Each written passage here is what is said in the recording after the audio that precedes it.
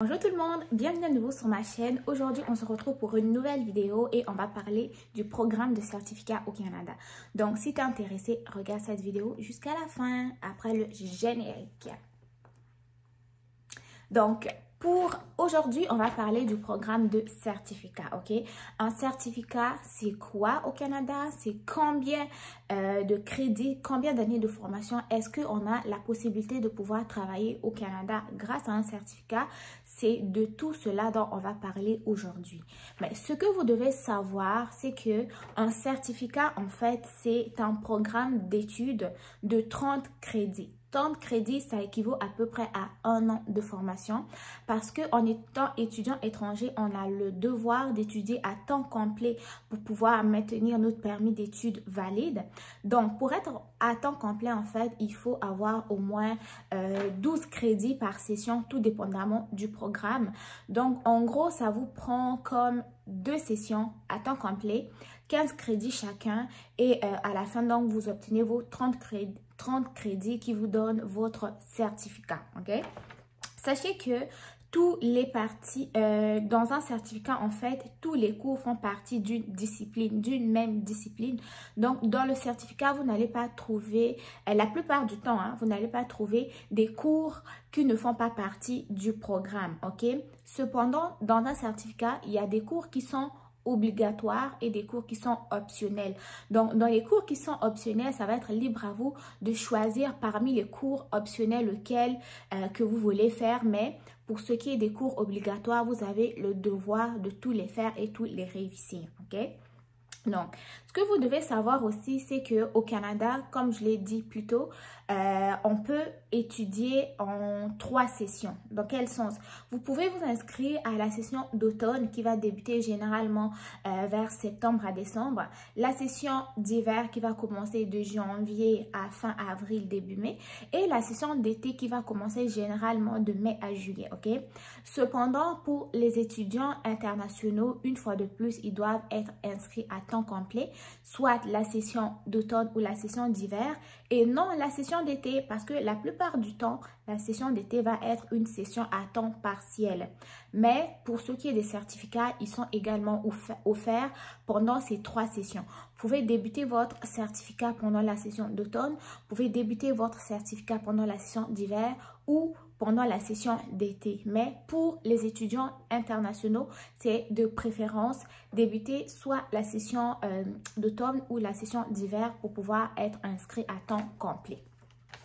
Ensuite de ça, vous devez savoir que la session, euh, pardon, la session, le certificat, ok, le programme de certificat, donc qui est un programme d'une durée de euh, une année qui vous donne droit à trois crédits, est offert aux étudiants canadiens, aux étudiants résidents permanents et aussi aux étudiants étrangers. Quand je parle d'étudiants étrangers, je parle de toute personne qui n'est ni citoyen canadien, ni résident permanent, ni une personne protégée par euh, immigration citoyenneté, ok? Donc, toutes les autres nationalités, c'est eux que je regroupe par étudiants internationaux.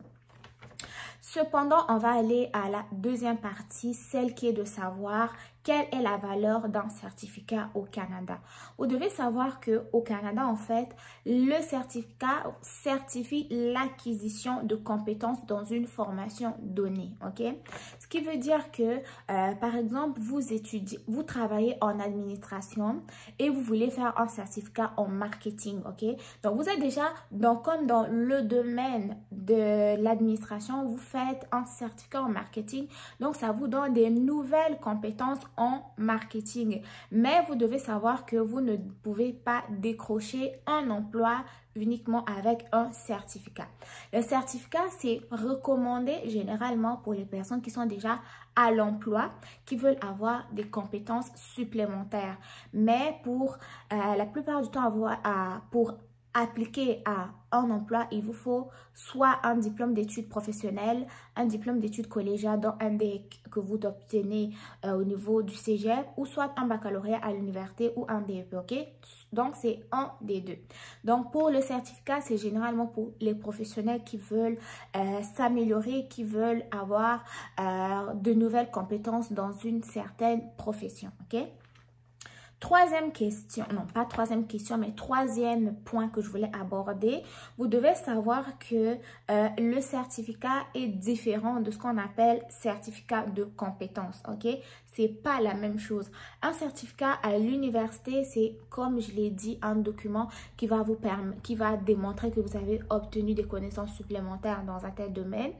Alors que le certificat euh, de compétence, lui, il va démontrer qu'une personne a des compétences requises pour exercer un tel métier, ok? Je ne sais pas si vous comprenez un peu la nuance. Je vais peut-être parler euh, au niveau de... de ça va prendre un exemple de conducteur de machinerie lourde.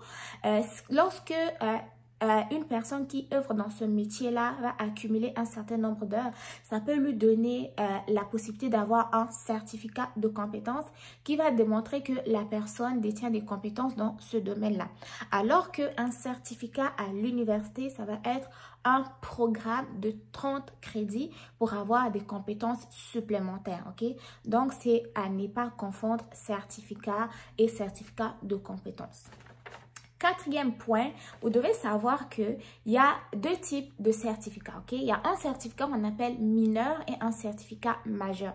Un certificat mineur, en fait, ça va être un programme euh, de certificat de 30 crédits d'une durée d'une année. Alors qu'un certificat majeur, ça, ça va être un certificat aussi, mais qui vous donne accès à 60 crédits. Donc, la durée va être de deux ans, ok?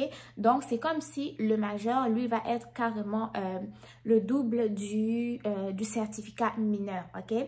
Donc, cependant, lorsque vous accumulez trois certificats dans un même domaine de formation, cela vous, peut vous donner l'équivalence d'un baccalauréat.